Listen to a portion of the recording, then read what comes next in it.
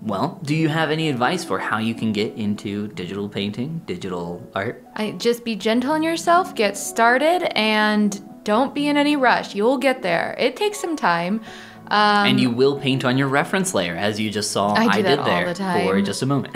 yeah, I should say one thing I did when I started out on the iPad was a couple of times. so it- that's that's a good recommendation. iPad, first of all. Yeah, definitely. An iPad. You can take it places to coffee shops. Like if you're like not sure where to get started in terms of equipment, an iPad is great for mobility's sake. iPad, Apple Pencil, and Procreate. That's all you need. Yeah. But you were going to say uh, one thing that you started out doing with the iPad. Uh, was doing some of those YouTube tutorials Oh, that yeah, yeah, yeah. are literally kind of just like step by step in a sort of paint by numbers sense where you just copy their exact step. But you learn so much from doing those. You In, in the early stages, for sure. in the early stages for sure.